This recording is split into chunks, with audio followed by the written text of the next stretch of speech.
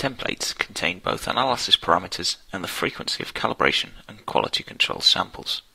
They are ideal when the same analysis method is required on a routine basis. To create a template from an existing lab book, go to Templates in the home page. Give the template a name, select Create a new template from an existing lab book, select the lab book you wish to use, and press Create Template. As you can see, the method parameters have been carried over from the lab book. To set up recurring calibration and quality control samples, click Sample Definition. The sample definition page is split into three sections. Header samples are automatically inserted at the beginning of each sample list.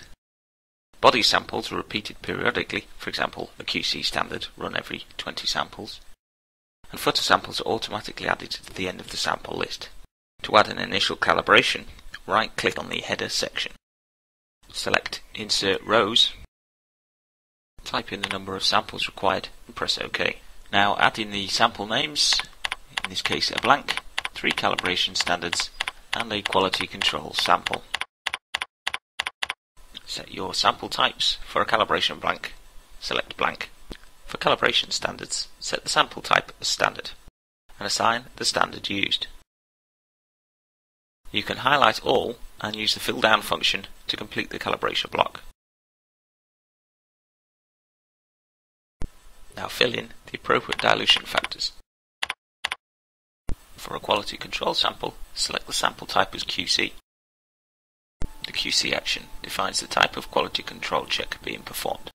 Let's select a continuing calibration verification, or CCV. The QC restart defines where the sequence should restart from following a QC failure, either from the last QC to pass, or directly onto the next sample. QC requires a standard, so I'll use the stock solution, and then apply a dilution factor of 25 to make its final concentration 4 ppm. Now assign the sample's auto-sampler positions. Incremental fill is ideal for this. To add a recurring sample, click the Add menu and select Body. This adds a sample to the body section. So now we add a name, a sample type, a standard, dilution factor, QC action and restart, and the auto sampler position. Insert the frequency of analysis. In this case, a QC sample will be added into the sample list automatically every 10 samples. To add an end action, click the Add menu and select Footer. QC has been added into the footer section and I will fill this in the same as the QCs above.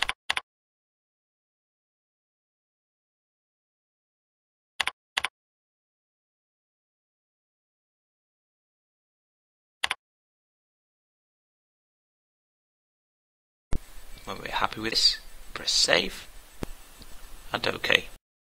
The template is now complete and ready for use.